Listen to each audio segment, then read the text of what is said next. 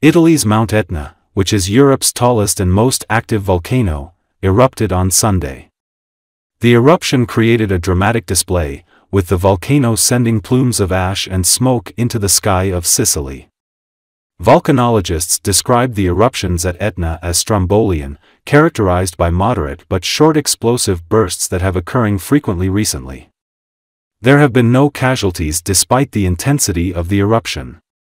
Local residents are no in immediate danger, authorities reported. There has been an increased activity in the 3,369-meter-high volcano in the past 10 days. Mount Etna last erupted this strongly with ash and lava in December 2023.